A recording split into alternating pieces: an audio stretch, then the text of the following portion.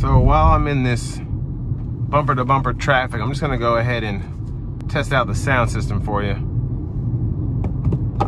Oh, but I'm gonna talk anyway. Oh, I'm on my way. Obstacles come and go, but where you end up, space gone. Who you know? Gotta know myself, making this a must for my health.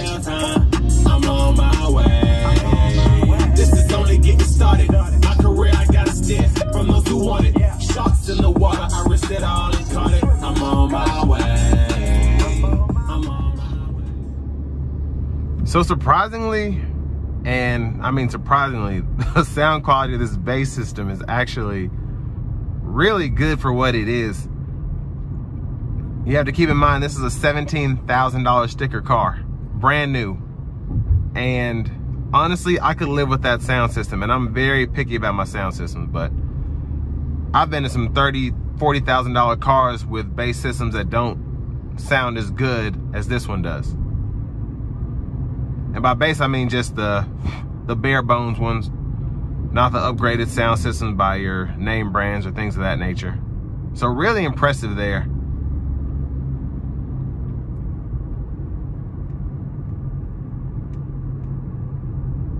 And for this to be a, a, commuter car, which is really what it would be served its best purpose for, it's pretty, pretty decent in everything so far. But most importantly, fuel economy.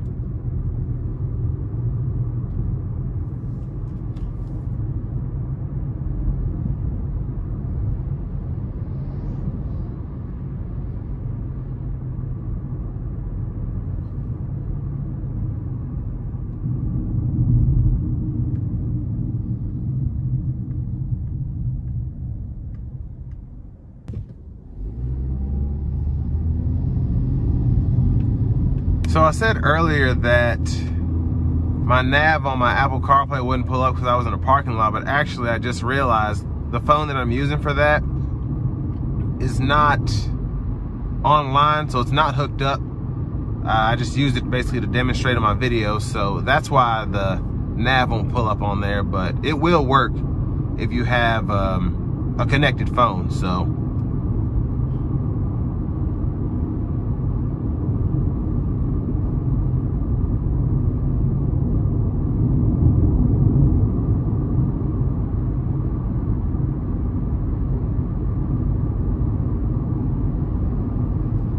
Keep in mind this LX, with it being so cheap, this one does not come with cruise control. But you do have the steering wheel, audio controls, and all of that, so something to keep in mind.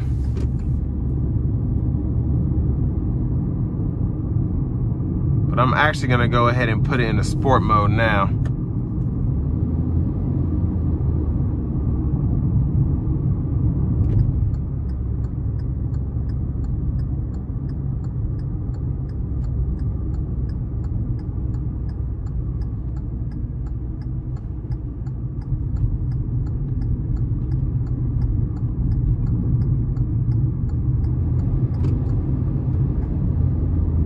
So the sport mode just keeps the revs higher than normal.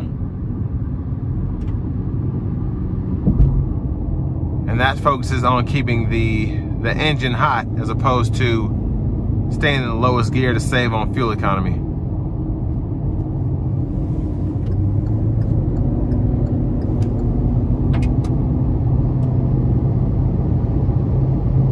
But it's actually pretty useful.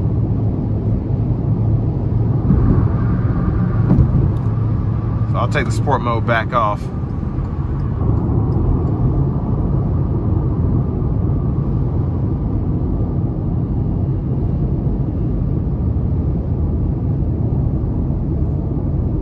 And surprisingly, even though I got up to about 75, 76 miles an hour, the ride was not harsh at all.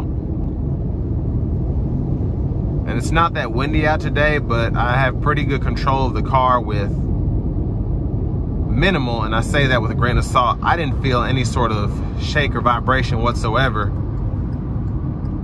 driving that fast on the interstate. But on a windier day, that may be an issue, but right now it hasn't been. I just want to put that little disclaimer there.